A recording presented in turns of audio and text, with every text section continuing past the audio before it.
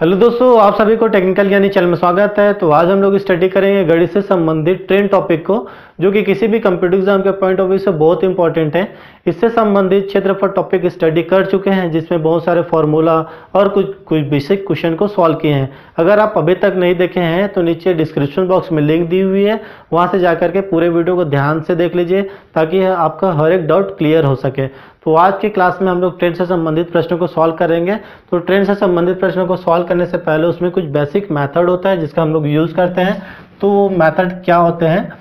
तो देख लेते हैं, चाल बराबर दूरी बटे समय। ये हमारा बेसिक फार्मूला होता है, जिसका हम लोग ट्रेन से संबंधित क्वेश्चन में यूज़ करते हैं। अगर आपको दूरी और समय निकालना होगा तो यहाँ से आप तिरिया गुड़ा करके निकाल सकते हैं। तो तिरिया गुड़ा करेंगे तो दूरी बराबर कितना हो जाएगा? इस तरह से तो चाल इंटू समय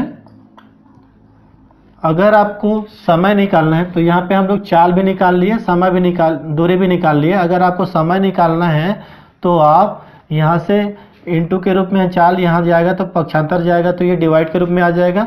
तो समय बराबर क्या हो जाएगा, ये हमारा दूरी बटे चाल इस तरह से निकाल सकते हैं। उसके बाद पहला क्वेश्चन में देख लेते हैं। एक रेलगाड़ी बहत्तर किलोमीटर प्रति घंटा की चाल से चल रही है। उसकी चाल मीटर प्रति सेकंड में ज्ञात करना है। तो आपको क्वेश्चन आपको किलोमीटर प्रति घंटा में दिया हुआ है और आपको मीटर प्रति सेकंड में निकालना है। तो इस तरह से आप निकाल सकते हैं। तो चाल निकालना है आपको मीटर प्रति सेकंड में। तो यहाँ पे एक किलोमीटर बराबर पाँच बटे अट्ठारह करके निकाल सकते हैं। तो पाँच बटे अट्ठारह का मतलब क्या होता है?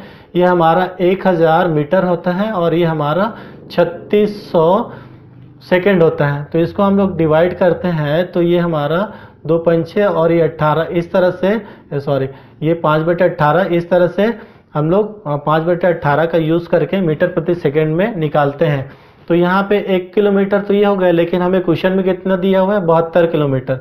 तो बहत्तर इंटू पाँच बटे अट्ठारह करेंगे तो ये हमारा अट्ठारह चौके ये हो जाएगा। बहत्तर और चार इंटू पाँच बराबर ये हमारा बीस ये क्या निकल गया हमारा मीटर प्रति सेकंड में ये हमारा आंसर निकल गया। तो इस तरह से निकाल सकते हैं। अगला क्वेश्चन इस तरह से देखते हैं। कोई रेलगाड़ी 25 मीटर प्रति सेकंड में चाल से चलती है, उसकी चाल किलोमीटर प्रति घंटा में ज्ञात करना है। तो इस बार हमें किलोमीटर को ना दे करके ये हमें मीटर प्रति सेकंड में दिया हुआ है। यहाँ पे हमें किलोमीटर में दिया था, यहाँ पे मीटर प्रति सेकंड में दिया है। यहाँ पे किलोमीटर प्रति घंटा में ज्ञात करना है और यहाँ पे मीटर प्रति सेकंड में आपको ज्ञात करना था। तो यहाँ पे फॉर्मूला का यूज़ कर लेते हैं। फॉर्मूला चाल हमें क्या निकालना है? किलोमीटर में निकालना है। इस तरह से किलोमीटर प्रति घंटा में निकालना है आपको। तो आप क्या करें?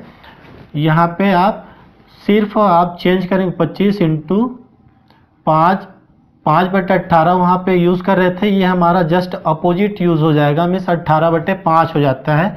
अब इसको हम लोग डिवाइड करेंगे तो ये हमारा कितने? पाँच पाँच पंचे कितना हो गया? पच्चीस हो गया और ये पाँच इंटू अट्ठारह हो गया। इसको हम लोग मल्टीप्लाई करेंगे तो ये कितना हो जाएगा? चालीस और पाँच, चार, नौ, नब्बे नब्बे मीटर, ये सॉरी किलोमीटर प्रति घंटा में ज्ञात हो गया। मीटर, घंटा में ज्ञात हो गए इस तरह से आप क्वेश्चन को सॉल्व करेंगे। तो अगला क्वेश्चन इसी प्रकार से देख लेते हैं। थोड़ा सा नया टाइप का क्वेश्चन है। एक रेलगाड़ी की लंबाई 150 मीटर है और उसकी चाल चौवन किलोमीटर है। वह रेलवे पटरी के किनारे खड़े व्यक्ति को कितने समय में पार कर लेगी? तो यहाँ पे क्या क्या चीज़ दिया हुआ है? रेलगाड़ी की अगर लंबाई है तो रेलगाड़ी की रेलगाड़ी की लंबाई आपको दिया हुआ इस तरह से इंडिकेट करेंगे। लंबाई को आप दूरी भी बोल सकते हैं। तो आपको दूरी दिया हुआ कितना 150 मीटर दिया हुआ है।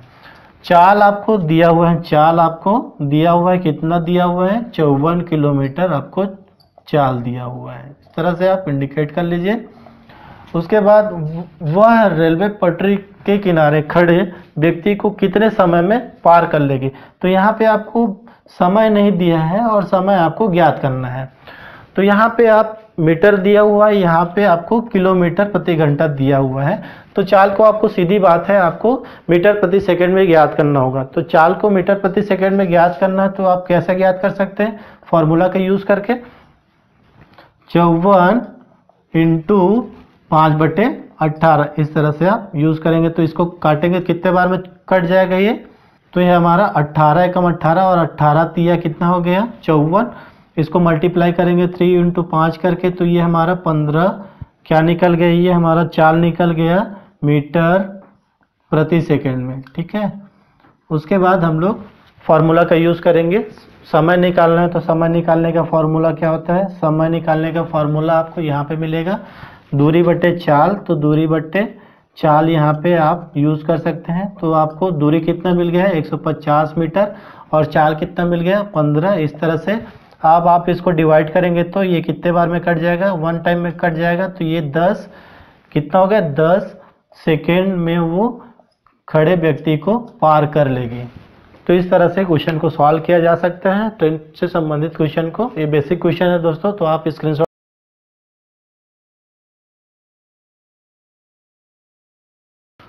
तो चलिए अगला क्वेश्चन देखते हैं। बहत्तर किलोमीटर प्रति घंटा की चाल से चलती हुई रेलगाड़ी 180 मीटर लंबी है। वह किसी सिग्नल को कितने देर में पार कर जाएगी? तो क्वेश्चन में क्या क्या चीज़ दिया है? तो लिख लेते हैं उसको। तो चाल आपको दिया हुआ है कितना? ये बहत्तर किलोमीटर किलोमीटर प्रति घंटा प्रति घंटा। और क्या चीज़ दिया है? रेलगाड़ी की लंबाई में दूरी भी आपको दिया हुआ है। 180 मीटर। इस तरह से आप लिख लीजिए। और वह किस, किसी सिग्नल को कितने देर कितने देर मीन्स समय तो समय को आपको फाइंड आउट करना है। तो यहाँ पे किलोमीटर दिया हुआ है और यहाँ पे मीटर दिया हुआ है। तो चाल को हम लोग किसमें चेंज कर लेते हैं? मीटर प्रति सेकंड में चेंज कर लेंगे। तो मीटर प्रति सेकंड में चेंज करने के लिए आपको पाँच बटे अट्ठारह का मल्टीप्लाई करना होगा इसमें। उसके बाद इसको कटा लेंगे तो ये चार बार में कट जाएगा और इसको हम लोग इंटू करेंगे तो ये क्या हो जाएगा? बीस मीटर प्रति सेकेंड। इस तरह से चाल निकल गया।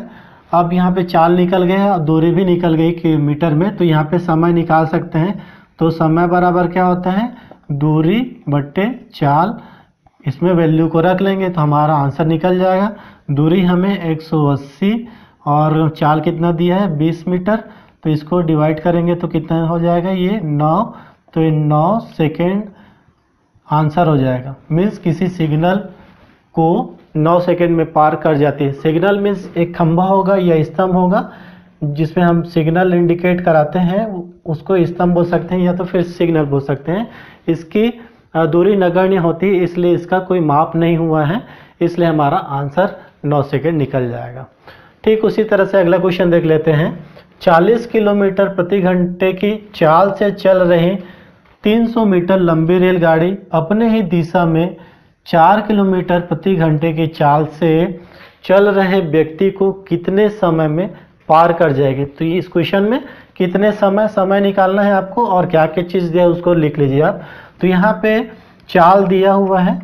चाल कितना? रेल, रेलगाड़ी की चाल आपको दिया हुआ है। रेलगाड़ी की चाल आपको दिया हुआ है 40 किलोमीटर प्रति घंटा। इस तरह से इंडिकेट करेंगे आप। उसके बाद रेलगाड़ी की लंबाई मीन्स दूरी आपको दिया हुआ है कितना? 300 मीटर। आगे क्वेश्चन देख लेते हैं। तो अपने ही दिशा में तो अपने ही दिशा में चार किलोमीटर प्रति घंटा की चाल से चल रहे व्यक्ति, मीन्स व्यक्ति की भी चाल दिया हो यहाँ पे, व्यक्ति की भी आपको चाल दिया हुआ, कितना चाल दिया है? चार किलोमीटर प्रति घंटा। तो यहाँ पे हमें दो चाल मिल गया है। एक रेलगाड़ी की चाल मिला है और दूसरा में व्यक्ति की चाल मिला है। लेकिन कौन सी दिशा मिला है वो? अपने दिशा में मिला है। मीन्स यहाँ पे रेलगाड़ी है, चल रही है और एक व्यक्ति उसी दिशा में ही आगे बढ़ रही है। चार किलोमीटर प्रति घंटा की रफ्तार से आगे बढ़ रही है। तो इसको सापेक्ष चाल निकालेंगे। तो अपने दिशा में होता है तो उसको चाल को हम लोग माइनस करते हैं, या फिर ये विपरीत दिशा में होता है तो चाल को हम लोग क्या कर लेते हैं? प्लस कर लिया जाता है। तो यहाँ पे सापेक्ष चाल निकाल लेते हैं। तो सापेक्ष चाल इज़ इक्वल टू चालीस माइनस चार। तो ये हो जाएगा हमारा छत्तीस किलोमीटर प्रति घंटा। अब यहाँ पे आप चाल निकाल रहे हो किसमें है? किलोमीटर प्रति घंटा में है और यहाँ पे जो दूरी है वो मीटर में है। तो आप इस चाल को आप किसमें निकाल लेंगे? मीटर प्रति सेकंड में निकाल लीजिए। तो छत्तीस इंटू पाँच बटे अट्ठारह करके निकालते हैं हम लोग, जानते हैं। इसको डिवाइड करेंगे दो से तो मल्टीप्लाई करेंगे तो ये हमारा दस मीटर प्रति सेकंड में निकल गया। अब चाल भी निकल गया, अब दूरी भी निकल गया तो हम समय निकाल सकते हैं। तो समय इजगल टू क्या होता है हमारा? दूरी बट्टे चाल, इसमें हम लोग वैल्यू का रख लेंगे तो दूरी हमारा 300 और चाल हमारा 10 इसको डिवाइड करेंगे तो कितने बार चला जाएगा ये? ये हमारा 30 बार में चला जाएगा तो ये 30 सेकेंड, ये हमारा आंसर हो जाएगा। इस तरह से आप प्रश्न को सॉल्व कर सकते हैं। बहुत ईजी है दोस्तों तो प्लीज़ स्क्रीनशॉट ले लीजिए पहले आप।